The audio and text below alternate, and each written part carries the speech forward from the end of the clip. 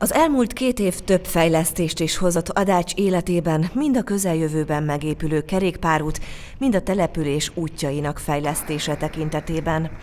Adács vezetése tovább folytatva a megkezdett munkát további két területfejlesztési operatív program pályázatot is beadott, melyek 130 millió forint támogatást jelentenének a településnek.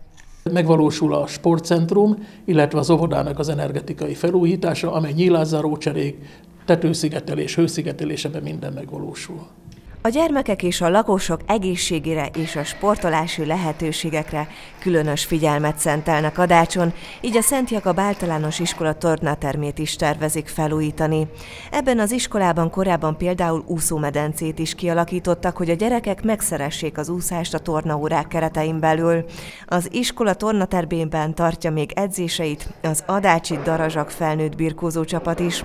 Az iskola most még egy 24 millió forintos közösségfejlesztési pályázatot is elnyert, de a polgármesternek további tervei is vannak.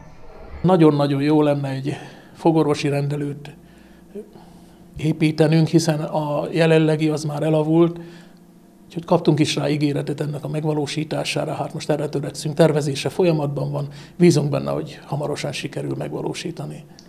Ezen a területen szeretnék kialakítani a jövőben az egészségházat, ide költözne a házi orvosi rendelő mellett a most még külön épületben lévő védőnői szolgálat és a fogorvosi rendelő is.